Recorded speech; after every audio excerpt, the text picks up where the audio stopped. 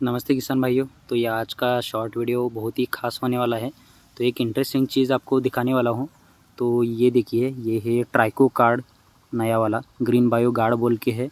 तो ये इससे पीछे हमें जो ट्राइको कार्ड्स मिलते थे मित्र किटों के लिए तो एक शीट पर आते थे, लेकिन ये नया डिज़ाइन किया हुआ कार्ड है।